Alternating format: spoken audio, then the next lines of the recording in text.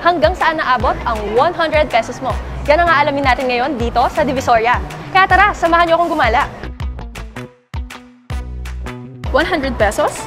Di mo ma-enjoy ang gala mo sa Divisoria kung 100 pesos lang ang budget mo. Eh, paano yan? Ito lang kasi yung pera ko ngayon. Huwag kang mag-alala. Pwede kang humiram kay Valley Loan. Makakahiram ka ng up to 80,000 pesos. Sobrang dali lang humiram dahil isang valid ID at phone number lang ang kailangan. Mababa din ang interest rate nito. Talaga ba? Naku, mukhang marami tayong mabibiling pasalubong at souvenir niyan. Ikaw, gusto mo na ba humiram sa Valley Loan? I-download na sa Google Play Store at mag-register na!